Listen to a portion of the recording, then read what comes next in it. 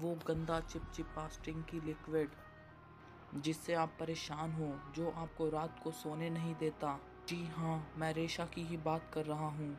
ये चीज़ क्या है और इससे छुटकारा कैसे पाएँ? जानने के लिए वीडियो को एंड तक देखें। देखिए, रेशा को इंग्लिश में हम म्यूकस कहते हैं। आपको जानकर हैरानी होगी कि म्यूकस से खाली आप परेशान नहीं, पूरी दुनिया ही परेशान है। यही बात इसको वर्ल्ड फ़ेमस टॉपिक भी बनाती है। इसलिए आपको इसके बारे में जानना बहुत ज़रूरी है और आप इससे कैसे छुटकारा पा सकते हो या आप इससे अपना कैसे बचाव कर सकते हो। ये आपको काफ़ी अनकंफर्टेबल फील कराता है, इसलिए आपको इसका सॉल्यूशन ढूंढना बहुत ज़्यादा ज़रूरी है। म्यूकस आपके शरीर के काफ़ी सारी जगहों में बनता है।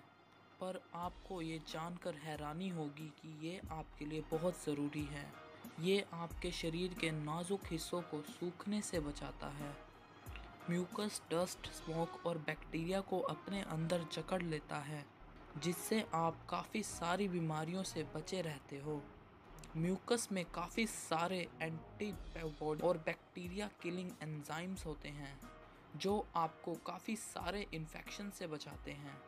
हमारा शरीर एक दिन में एक से दो लीटर तक म्यूकस बनाता है, पर हमें उसका ज़्यादा पता नहीं चलता जब तक वो हमें तकलीफ़ देना शुरू ना कर दे या आपको अनकंफर्टेबल फील ना करा दे। इसकी मात्रा ज़्यादातर तब बढ़ती है जब आपको कोल्ड फ्लू या साइनस होता है, जिससे आपको खांसी भी आती है।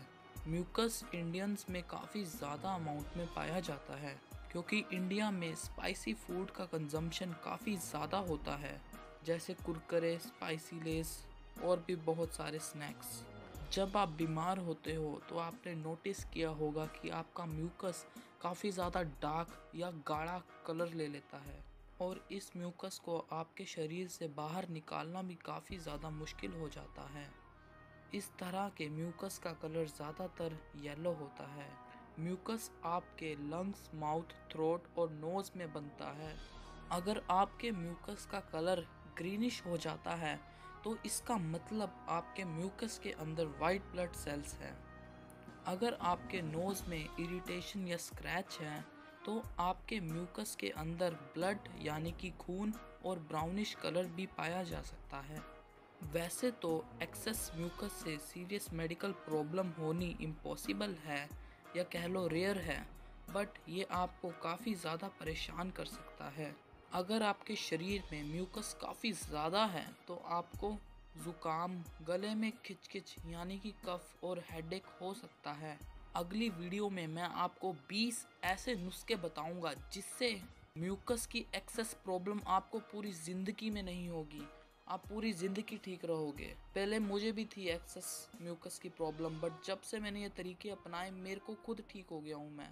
इसलिए मैं सबको रिकमेंड करता हूँ। अगली वीडियो को देखने के लिए चैनल को सब्सक्राइब और बेल आइकन को ज़रूर दबा दें। मैं आपका भाई गारंटी लेता है कि आपके एक्सेस म्यूकस की प्रॉब्लम ऐसे झट से ठीक कर देगा। बस आपको सब्सक्राइब और बेल आइकन को टच कर देना है। Thank you for watching this video और हाँ लाइक करना तो भूलना ही मत, ठीक है?